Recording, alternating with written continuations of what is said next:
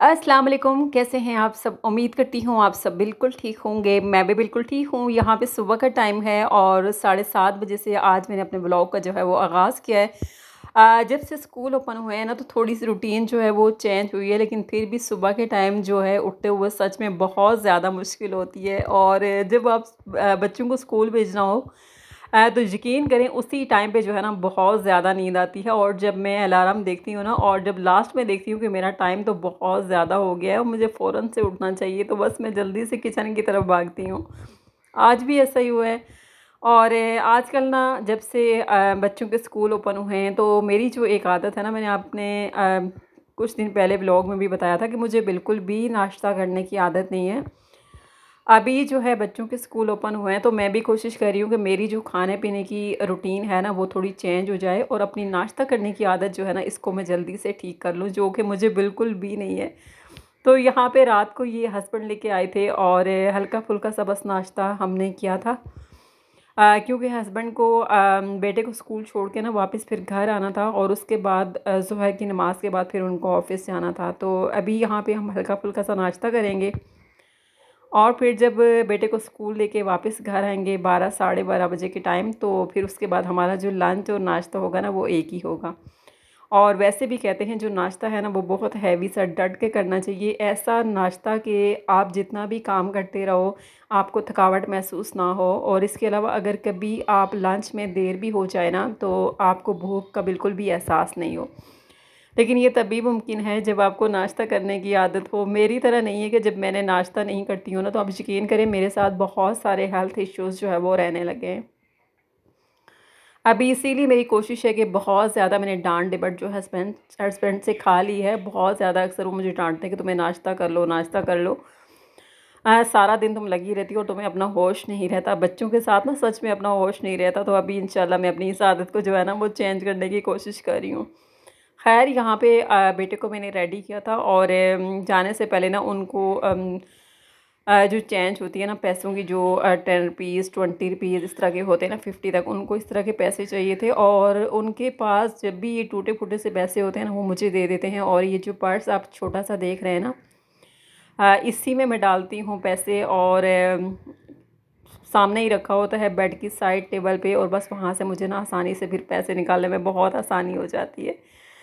और जब अभी मैं यहाँ पे देख रही थी ना तो मुझे एक फ़ाइव थाउज़ेंड का जो नोट है ना, वो भी मिला है। और मेरी आदत है, जो नए नए नोट होते हैं ना, उनको मैं अलग करके रखती हूँ। जैसे कि वो कभी भी खर्च नहीं होंगे, हमेशा मेरे पास रहेंगे। और जब मेरे पास से वो निकलते हैं ना, आप यकीन करें, सच में मुझे बहुत ज़्यादा अफसोस होता है। और मैं कहती हूँ कि इनको मैंने इतना संभाल के रखा हुआ था। और आज जो है ना ये मेरे पास से जा रहे हैं। पैसों की बात ही अलग है यार। हर चीज़ में ना पैसा पैसा बस पैसा। और पैसे की बात जब हम करते हैं ना तो अपने रिश्तेदारों की भी बात करते हैं। आजकल जो रिश्तेदार हैं ना सच में वो भी पैसे के हैं। आज मैं आप सबके साथ आज की वीडियो में ना आ, कुछ बातें अपनी शेयर करूँगी। हो सकता है कि आपको बहुत सारी मोटिवेशन मिल जाए। इन बातों को अगर आप अपनी ज़िंदगी का हिस्सा बना लेंगे तो आप यकीन करें कि आपकी लाइफ बहुत ज़्यादा आसान हो जाएगी और आप बहुत सारी जो परेशानियाँ हैं ना, उनसे बच जाएँगे। साथ में ब्लॉग भी आपके साथ शेयर करती रहूँगी और आप देखते रहेंगे मैं क्या कर रही हूँ। सबसे पहला पॉइंट जो है ना, वो ये है कि आप कुछ भी करना चाहते हैं अपने फ्यूचर में, चाहे आप घर बनाना चाहते हैं, आप कोई बिज़नेस सेट करना चाहते हैं, अपनी औलाद का, बच्चों का, बेटियों का कोई रिश्ता करना चाहते हैं मतलब कि आपकी फ्यूचर की कोई भी प्लानिंग्स हो आप कुछ भी करना चाहते हैं तो बस जब तक ये बात हो नहीं जाती ना, आप किसी को भी मत बताएँ। मैं तो कहती हूँ, होने के बाद भी नहीं बताएँ। आजकल के जो रिश्ते हैं ना, आप यकीन करें, हमारे मुखलिस करीबी रिश्ते भी ऐसे हो गए कि हसदीन जो है, इतने ज़्यादा वो हो गए हैं कि और कि फ़ौर से जो है ना, इनकी हसद जो है ना, वो शुरू हो जाती है और हमारे जो फ्यूचर प्लान्स होते हैं ना, वो नाकाम हो जाते हैं। तो जब तक आप आ, कुछ कर नहीं लेते आ, उसके से पहले प्लीज़ आप किसी को कुछ भी इस तरह का नहीं बताएँ कि आपका काम जो है ना होते होते रुक जाए और बाद में जो है ना आपको स्वाय पछतावे के कुछ भी ना मिले। ये जो हसद करने वाले होते हैं ना ये कहते हैं ना जो हसद होता है जो वो दीमक की तरह होता है। जैसे दीमक जो है वो लकड़ी को खा जाती है। आपने दीमक लगी हुई लकड़ी तो कभी देखी होगी ना? ये जो हासनीन होते हैं ना, ये भी बिल्कुल ऐसे ही होते हैं और इतना ये दिल में हसद रखते हैं। बज़ाहिर तो ये हमारे बहुत हमदर्द, बहुत मुखलिस, अच्छे बन के ना हमसे से हमारी सारी प्रोग्राम जो है वो पूछ रहे होते हैं, लेकिन अंदर ही अंदर जो हमसे जेलसी और खार खा रहे होते हैं, फिर इनकी नज़रें जो होती हैं ना हमारे चीज़ों पे होती हैं और ऐसे जो है इनका हसद जो है ना हमारे जितने भी प्लानिंग्स होती हैं ना, उनको खा जाती हैं। तो खुदारा अपनी जो फ्यूचर प्लानिंग्स हैं ना, वो किसी को मत बताएँ। नंबर टू पे है आपके मुखलिस रिश्ते। आपके आजकल जो रिश्ते हैं ना, रिश्ते तो वैसे बहुत से लेकिन उनमें जो मुखलिस रिश्ते हैं ना, वो बहुत कम है और ढूँढने में जो है बहुत कम मिलते हैं सच में। बहुत कम होते हैं जो आपके साथ दिल से मुखलिस होते हैं। जो आपके साथ दिल से मुखलिस है ना, मैं कहती हूँ उनके ऊपर आप अपनी दौलत, अपना खून, अपने जज्बात आप सब कुछ लगा दें। जो सिर्फ़ आपके मुखलिस रिश्ते हैं, सिर्फ़ उन पे। और बाकी जो फालतू के लोग हैं आपकी ज़िंदगी में ना उनके ऊपर आप अपना कुछ भी ज़ाया मत करें। आपके जज्बात, आपका पैसा, आपकी फीलिंग्स आपका सब कुछ ये यकीन करें बिल्कुल बेकार है। और जिसने आपको एक बार ढसा हो ना, उसको दोबारा से ख़ुद को ढसने का मौका कभी भी मत दें। वो कहते हैं ना, धोखा देने वाले को कभी मौका और मौका देने वाले को कभी धोखा मत दें। ये मैंने आप सबके साथ एक रूल शेयर किया है और मुझे उम्मीद है कि ये जो दो रूल मैं आप सबके साथ शेयर कर चुकी हूँ ना, आप यकीन करें अपनी ज़िंदगी में अगर आप को इसका हिस्सा बना लेंगे तो आपकी ज़िंदगी बहुत आसान हो जाएगी। नंबर थ्री पे आता है उधार मतलब कि अपनी रकम अगर आप किसी को दे रहे हैं ना, किसी ऐसे शख्स को मत दें कि किसी को अगर आपने दे दी ना, उसके बाद अब सारी ज़िंदगी उसके पीछे फिरते रहो फिरते रहो फिरते रहो फिरते रहो और वो रकम जो है ना आपको कभी भी वापस ना दे। पता नहीं किस तरह के लोग होते हैं, मैं कहती हूँ, जब आप किसी से कर्ज़ लेते हो ना तो कर्ज़ की वजह से, टेंशन की वजह से मेरे जैसा जो बंदा है ना, उसको सारी रात सुकून की नींद नहीं आती है वो सुकून से सो नहीं पाता है कि हम कब जो है इस कर्ज़ को वापस करेंगे। तब तक जो है वो टेंशन नहीं लगी रहेगी। लेकिन आजकल कुछ लोग ऐसे हैं ना, अगर आप उनको उधार दे दें, पैसे दे दें तो उनको कोई परवाह नहीं होती। और बाज़ार वो अयाशियाँ कर रहे होते हैं, दूसरे के पैसे से अपनी हर चीज़ वो कर रहे होंगे, अपने सारा सब कुछ वो कर रहे होंगे, लेकिन दूसरों के जब पैसे देने की बारी आएगी ना, उस वक्त वो कंगले मासूम बन जाएँगे, जैसे उनके पास कुछ भी नहीं है, वो बिल्कुल कंगले हैं और आपके सामने ना फिर उनका एक ना ख़त्म होने वाला रोना धोना शुरू हो जाएगा। और अपने ही पैसे जब आप उनसे मांगेंगे ना तो आपके साथ इस तरह बिहेव करेंगे जैसे आप पर ना उनका कोई एहसान हो रहा है।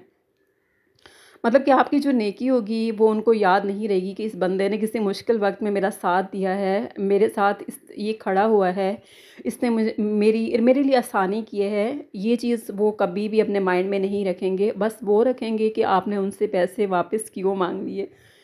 आजकल को जो दौर है, अगर आपके पास पैसे हैं ना तो आप यकीन करें, आप इसको किसी को भी मत दें, छुपा के रखें, आज सबसे और, या किसी इन्वेस्ट में लगा दें कुछ भी कर लें अपने लिए अपने बच्चों के लिए अपनी औलाद के लिए लेकिन आजकल के जो रिश्ते हैं कुछ लोग ऐसे हैं जिन को आप कभी भी मत दें। इस तरह के लोग जो आ, कभी भी टाइम पे जो है आपकी रकम जो आपको वापस नहीं करते और जब आप मांगते हैं ना तो आपसे एक ना ख़त्म होने वाली नाराज़गी जो है वो शुरू हो जाती है और फिर ख़ानदान भर में जो है ना वो आपकी बुराइयाँ कर रहे होते हैं। लोगों को हकीकत नहीं बता रहे होते कि हम जो है किसी के हमने पैसे देने हैं या फिर अगर कोई हमसे मांग रहा है, हमने उससे लिए हुए ये पैसे, नहीं, आपका तो बहुत बड़ा एहसान है जो आप दूसरे को वापस कर रहे हो।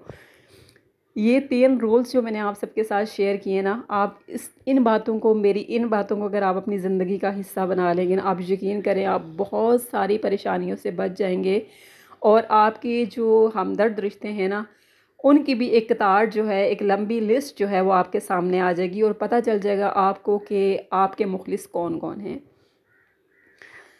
अगर आप मेरी इन बातों से थोड़ा सा भी इतफाक़ करते हैं तो कमेंट बॉक्स में ज़रूर बताइएगा मुझे कि ये जो बातें हैं ना, मैंने आप सबके साथ अपना पर्सनली एक्सपीरियंस जो है वो शेयर किया है।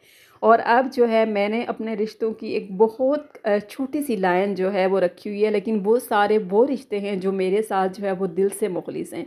और जो मेरे साथ दिल से मुखलिस हो, आप यकीन करें, उन सब के लिए मेरी जान, मेरा खून, मेरा माल, मेरा सब कुछ हाजिर। मैं ख़ुद भी कुर्बान उन सब रिश्तों पे। और यही पे जी, आज की जो वीडियो है, उसका एंड भी करूँगी। आई होप कि मेरी वीडियो को आपने पसंद किया होगा। और अगर आप मेरे चैनल पे नए हैं, मेरी चैनल को सब्सक्राइब करना नहीं भूलिएगा। वीडियो को लाइक करना नहीं भूलिएगा। और, आप किसी और टॉपिक के हवाले से अगर मेरे साथ कोई वीडियो आप देखना चाहते हैं आप चाहते हैं कि मैं किसी और टॉपिक पे वीडियो बनाऊँ तो प्लीज़ कमेंट में ज़रूर बताइएगा। और जहाँ पे आपको लगे आ, मैं किसी जगह पे गलत हूँ तो मेरी ऑडियंस जो है मुझे ज़रूर बताए कि कौन सी जगह पे मैं गलत हूँ। क्योंकि आप सबका प्यार जो होता है ना आपके जो लाइक्स होते हैं आपके कॉमेंट्स होते हैं वो सारे जो है ना मेरे लिए बहुत ज़्यादा मुझे मोटिवेट करते हैं और मेरा दिल चाहता है कि फिर मैं यूट्यूब पे काम करूँ। वैसे जब लाइक्स बहुत कम आते हैं कमेंट्स नहीं आते या फिर उस तरह का डब्ल्यू टी नहीं मिलता तो आप यकीन करें मैं बहुत ज़्यादा डीमोटिवेट हो जाती हूँ और सबके साथ बिल्कुल ऐसा ही है। एक और बात एंड में कहना चाहूँगी कि नए जितने भी छोटे यूट्यूबर्स हैं, उनको भी आप बहुत ज़्यादा सपोर्ट करें। बिल्कुल उसी तरह जैसे आपने बड़े यूट्यूबर्स को कामयाब किया है। थैंक यू फॉर वॉचिंग अल्लाह हाफिज़। जहाँ पे भी रहें, खुश रहें।